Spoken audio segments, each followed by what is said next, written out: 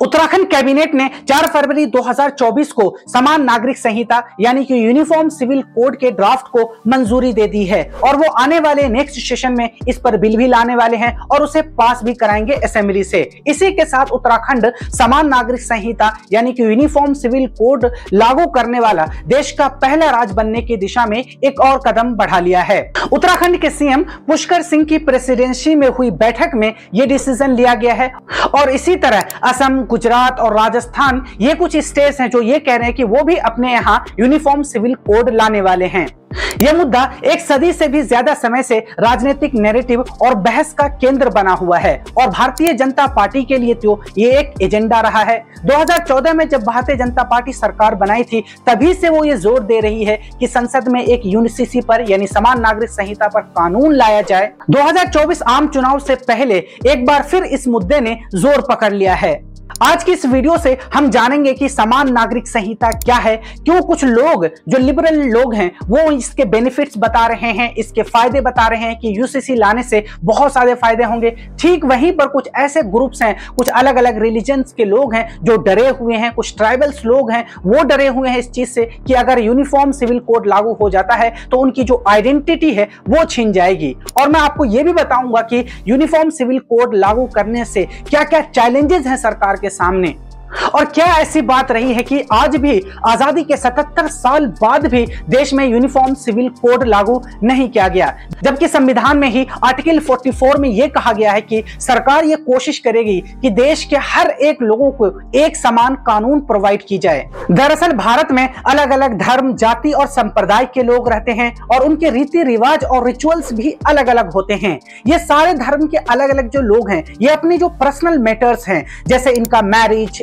Adoption inheritance और इनके जो डाइवोर्स के मैटर है, ये सारे ये अपने पर्सनल मैटर्स से सॉल्व करते हैं। और भारत में हर धर्म को मानने वाले के अपने पर्सनल लॉज हैं। इसी तरह हर एक जो संप्रदाय है, जो आदिवासी है, जो ट्राइब्स हैं, उनके भी अपने एक रिचुअल्स है। और वो उसी नियम के अकॉर्डिंग वो अपने जो पर्सनल मैटर्स हैं, उसे सॉल्व करते हैं, उसे गवर्न करते हैं। जैसे इस्लाम में जो पर्सनल लॉज हैं, उसे हम शरिया कहते हैं। और जो मुस्लिम है इंडिया के, वो अपने जो पर्सनल मैटर हैं, जैसे उनका जो मैरिज है, उनका जो एडॉप्शन है, उनके जो प्रॉपर्टी में शेयर्स हैं, जो वोमेन को दी जाती हैं, वो सारे वो इस, वो अपने पर्सनल लॉज के थ्रू गवर्न करते हैं, अपने ये सारे पर्सनल मैटर्स इन सारी प्रॉब्लम की वजह से देश में कानून में यूनिफॉर्मिटी नहीं आ पाती है, क्योंकि ये सारे लोग अपने पर्सनल लॉज के थ्रू अपने पर्सनल मैटर को गवर्न करते हैं।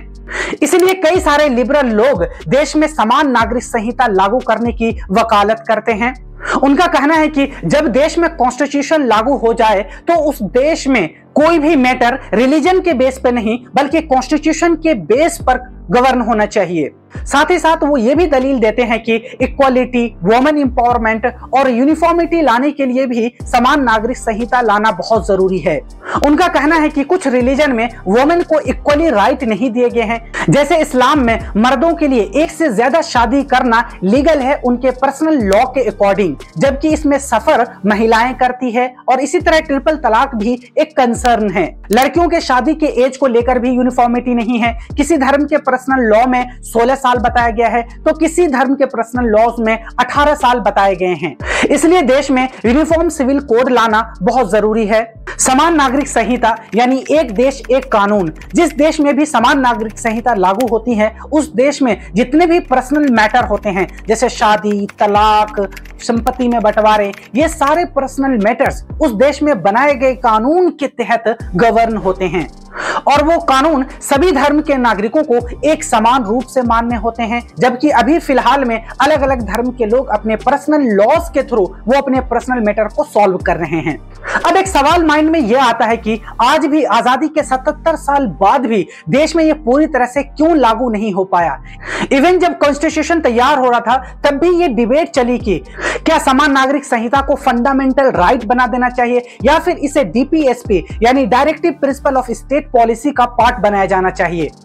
उस टाइम कहा गया कि अभी अभी हमारे देश का बंटवारा हुआ है, वो भी रिलीजन के बेस पर। अगर अभी हम यूसीसी यानी समान नागरिक संहिता को लागू करते हैं तो माहौल बिगड़ सकता है। उस टाइम इस बात पर सहमति हुई कि एक बार जब हमारा देश थोड़ा सा मेच्योर हो जाएगा, तब हम आर्टिकल 44 के तहत पूरे देश में यूनिफॉर्म सिविल कोड लागू करेंगे। भारतीय संविधान के आर्टिकल 44 में कहा गया है कि राज्य कोशिश करेगा कि भारतवर्ष में जितने भी लोग रह रहे हैं, उन सब के लिए एक समान कानून प्रोवाइड की जाएगी। इस आर्टिकल का ऑब्जेक्टिव था कमज़ोर लोगों के खिलाफ होने वाले भेदभाव को दूर करना और भारत में डाइवर्स कल्चरल ग्रुप में हार्मोनी स्टैब्लिश करना। पूरे भारत में समान नागरिक संहिता लागू करना एक चैलेंजिंग टास्क है। इसके पीछे बहुत सारे रीजन है, जो अभी मैं आपको बताता हूँ। रिलीजियस और माइनॉरिटी ग्रुप की तरफ़ से इस कानून को बहुत सारा रेजिस्टेंस का सामना करना पड़ रहा है। उनका कहना है कि अगर यूनिफॉर्म सिविल कोड लागू हो जाता है तो उनकी जो पर्सनल आइडेंटिटी है, जो उनके कल्चरल है, वो उनसे छीन लिए जाएँगे, उनका आइडेंटिटी छीन लिया जाएगा। इसी तरह भारत अलग अलग धर्म, जाति और संप्रदाय का देश है। भारत में मुख्यतः छह धर्म को लोग मानते हैं और 700 से ज़्यादा ट्राइबल रहते हैं भारत में और भारत की टोटल पॉपुलेशन में 8.6 परसेंट ट्राइब हैं। और इन आदिवासियों को यह डर है कि अगर यूसीसी लागू हो जाती है, उनके जो रिचुअल्स है, उनके जो रीति रिवाज है, जो वो फॉलो करते आ रहे हैं पुरखों से, वो उनसे छीन लिया जाएगा। भारत में कई ऐसी ट्राइब्स हैं जिसमें लड़कियों की शादी सिर्फ़ 12 साल में कर दी जाती है इतनी डाइवर्सिटी के बीच एक कॉमन ग्राउंड पा सकना एक बहुत ही ज़्यादा डिफ़िकल्ट टास्क है। इसी तरह इस्लाम धर्म के मानने वाले लोगों में भी गुस्सा है, क्योंकि उनके धर्म में जो उनके पर्सनल मैटर्स होते हैं, जैसे इनहेरिटेंस मतलब कि उनके जो प्रॉपर्टी में बंटवारा होता है, उनके पर्सनल लॉ के अकॉर्डिंग जो वोमेन है, उनको 25 परसेंट का हिस्सा मिलता है, जबकि यूसीसी लागू होते ही उन्हें 50 परसेंट का शेयर दिया जाएगा, ऐसा ड्राफ्ट में कहा गया है। इसी तरह जो इद्दत के रूल्स होते हैं, उनके पर्सनल मैटर में इसी तरह उनके जो ट्रिपल तलाक के जो इशू हैं, वो भी खत्म कर दिए जाएँगे अगर यूनिफॉर्म सिविल कोड लागू होते हैं तो। समान नागरिक संहिता को अगर एक पहलू से देखा जाए तो एक अच्छा कानून लगता है, क्योंकि इसके वजह से जो देश में पुराने रिचुअल्स है, जो रीति रिवाज है, जिसके वजह से वोमेन को सफ़र करना पड़ता है, और देश में कानून की यूनिफॉर्मिटी भी नहीं हो पाती है तो इससे एक नज़र में तो ऐसा लगता है कि ये बहुत अच्छा कानून है, जिससे हमें वोमेन इंपावरमेंट करने का मौका मिलेगा इक्वलिटी आएगी देश में। बहुत सारे ऐसे ट्राइब्स है रिलीजन है, जिसमें लड़कियों की शादी का एज बहुत कम है, जिसकी वजह से वो अपनी एजुकेशन को कंप्लीट नहीं कर पाती है। इसलिए उन्हें अपने अधिकारों का पता नहीं हो पाता है। और यूसीसी की मदद से जो बरसों पुरानी रिचुअल्स हैं, जो रीति रिवाज आ रहे हैं फॉलो करते हुए, उसे भी खत्म करने का मौका मिलेगा या उसे हम मॉडर्नाइज कर देंगे आज के जमाने के हिसाब से। बट समान नागरिक संहिता का दूसरा पहलू भी है। इससे बहुत सारे जो ट्राइब्स हैं, उनकी अपनी पर्सनल आइडेंटिटी है, जो उनकी रीति रिवाज से उनकी पहचान होती है, वो उनसे छिन जाएगा। और यही बात उत्तराखंड में सामने आई है।